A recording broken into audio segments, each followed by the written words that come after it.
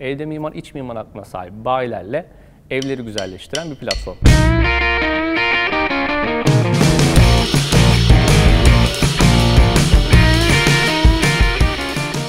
7 ay önce başladı evde mimar hikayesi. Aslında ölçeklenebilir ve büyüyebilir bir girişim kurmak istiyordum hep.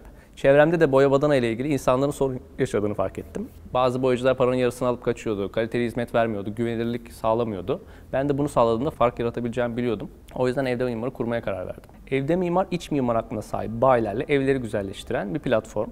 Örneğin Üsküdar'da 2 artı 1 bir eviniz var ve boya badana yaptırmak istiyorsunuz. Evde mimara geldiğinizde online keşif yapabiliyorsunuz. Türkiye'de ilk defa. Evinizi bir iç mimarla gezdirebiliyorsunuz cep telefonunuzdan. Hem ondan dekorasyon önerileri alıyorsunuz hem de boya badana ile ilgili fiyatınızı anında öğrenebiliyorsunuz. Yarın sabah hemen en yakın bayi size boya badana yapabiliyor. Bunları yaparken bir yıl garanti verebiliyor. Her işe sigorta yapıyor. Aynı şekilde iş yerinizdeyken evdeki boya badanayı canlı bir şekilde izleyebiliyorsunuz. Ve size bir güvenilir bir hizmet sunmuş oluyor. Evde mimar genel itibariyle böyle çalışıyor. Girişimimizde ilginç bir iş modeli de var aslında. Esasında birçok markamız var evde mimarın da altında olan ve bu markaları kendi girişimci platformumuzdaki girişimciler yönetiyor.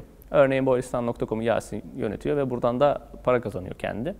Bu müşteriler için biraz garip bir durum olabiliyor. Aslında siz Google'a boya badana ile ilgili bir şey yazdığınızda birçok sonuç bizim. Bazı müşteriler bizi arıyor. Örneğin işte bir teyzem aramıştı. Demişti ki ya tamam sizinle çalışacağım, söz veriyorum başka kimseye aramayacağım deyip ondan sonra bizim başka bir web sitemizi arayıp gene aynı şeyler tamam başkasıyla çalışmayacağım, sizdeyim falan. Sonra üçüncü aradığında biz de kendisine dedik ki teyze dedik işte 3 artı bir bir evim var, Ferhatpaşa'dasın, şu kadar metrekaredesin falan. Korktu hemen kapattı telefonu.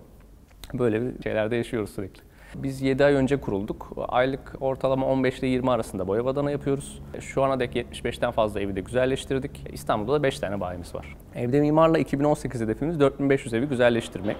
60 bayiye ulaşmak 2018'de ama en büyük genel hedefimiz de 20 milyon insanı mutlu edebilmek. İnsanlar evleri güzelleştikçe mutlu olduğuna inanıyorum ve biz de bu hayalle çalışıyoruz.